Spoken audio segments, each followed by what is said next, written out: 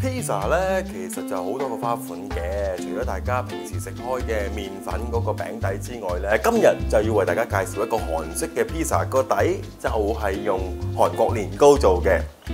材料有年糕、芝士、秋葵、泡菜、洋葱、沙律醬同埋韓國辣醬嘅。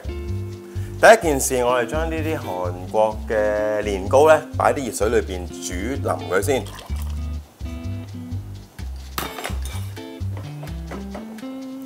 然之後同時咧，我哋就可以將沙律醬同埋韓式辣醬撈勻佢一齊，我哋做一個 pizza 嘅底醬。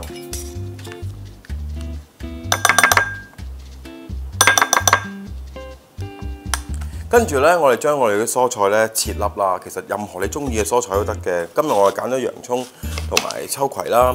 好啊，跟住我哋切咗呢啲啦。秋葵咧就已經切定咗啦。然後咧，我哋就將呢啲年糕鋪喺一個焗盤度。年糕鋪晒喺度之後咧，就我哋加少少辣醬上去呢個面度啦。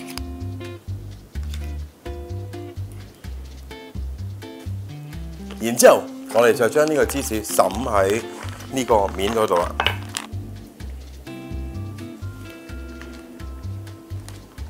加埋我哋嘅蔬菜上去啦，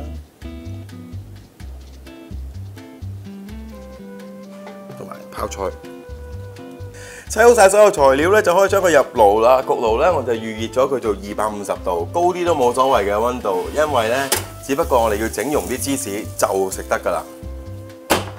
最後用火槍再燒一燒嗰啲诶年糕嘅面咧，令到佢再脆啲咧，咁就會再好食啲啦。呢、一個韓式年糕 pizza 就大功告成啦，希望大家會中意啦〜